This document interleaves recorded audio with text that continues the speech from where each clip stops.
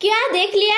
Natural star नानी, कृति सुरेश, क्या performance क्या एक्टिंग क्या विजयम मतलब आपके साथ फ़िल्म के बारे में मैं बात कर रही हूँ तो मुझे अंदर से खुशी हो रही है। मैं अब तक भूल नहीं पाई फ़िल्म की हर एक सीन को और क्लाइमेक्स को।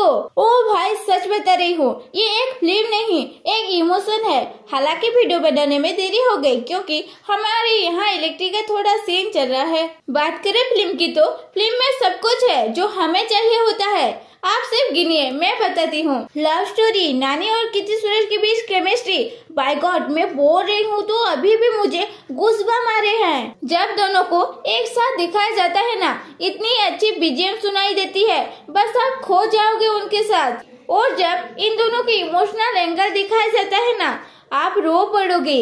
नानी और सूरी के बीच की दोस्ती और इंटरवा की एक्शन सीन पूरी तरह से घुसबन देने वाली है। फ़र्स्ट हाफ़ में हमें तीन चार गाने सुनने को मिलते हैं, जिसे आप इंजॉय करोगे। और ये गाने कैरेक्टर बिल्ड के लिए ज़रूरी भी थे। ऐसा नहीं है कि सिर्फ़ ड्यूरेशन बढ़ाने के लिए रखा गया है। फ़र्स्ट हाफ़ की इमोशन पैक के बाद सेकेंड हाफ़ की रिवेंज पैक बाकी है।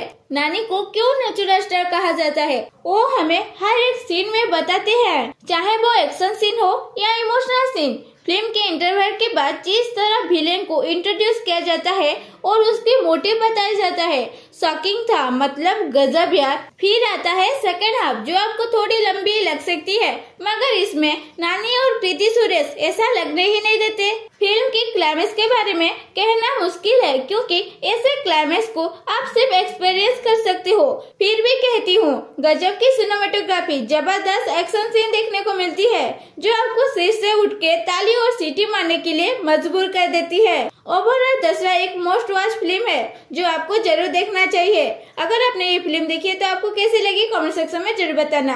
आज के लिए इतना ही दोस्तों, मिलते हैं अगले वीडियो में। तब तक के लिए बाय बाय टाटा खत्म